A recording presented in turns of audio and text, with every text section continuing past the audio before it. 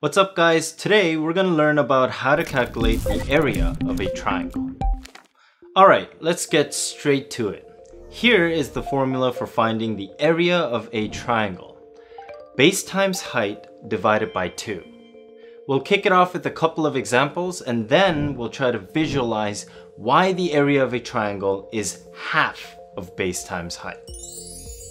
Alright, we've got a triangle like this. What is the base here? Well, it would be 4 centimeters. And what is the height here? It would be 3 centimeters. So what's the area then? Well, using the given formula, it would be 3 times 4 over 2, which is 12 over 2, resulting in 6 centimeters squared. Notice here that for area we say unit squared. So if we were measuring in centimeters, we would say centimeters squared. Or, for example, meters squared if we were measuring in meters. That was easy, right? Well, let's try another example. How do you get the area of this triangle? Well, the base is 6, so 6 times the height? Hmm, is the height 3 or 4? Well, 3 centimeters is the length of a side. But in this scenario, 3 centimeters is not the height.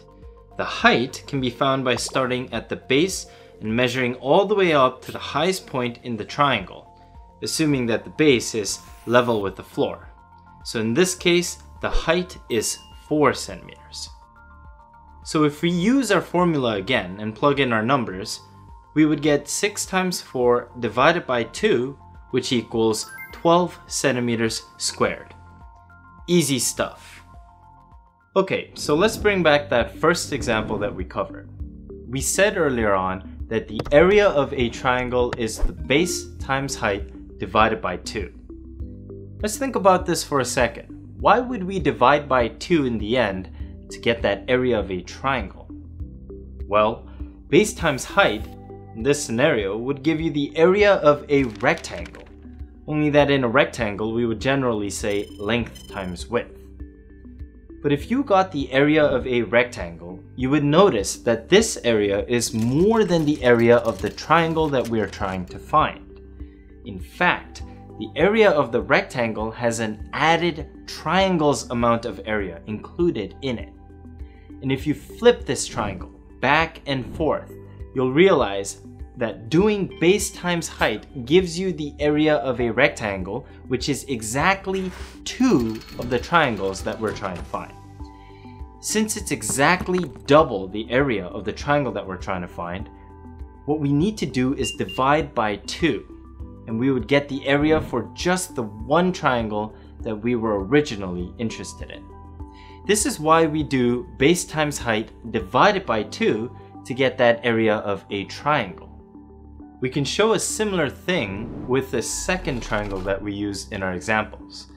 This imaginary height line over here helps us to divide up this triangle into two separate triangles. If you do base times height here, you'd be getting the area of this entire rectangle. And if you think about it, this extra space here is the same as this triangle. And this space over here is the same as this triangle. So again, by the time you do base times height, you've calculated the rectangle that would be exactly double the area of the triangle in question, which is why we would do our divided by 2 in order to get exactly the area of the triangle only. Good, so that's it for the area of triangles and we will see you in the next video.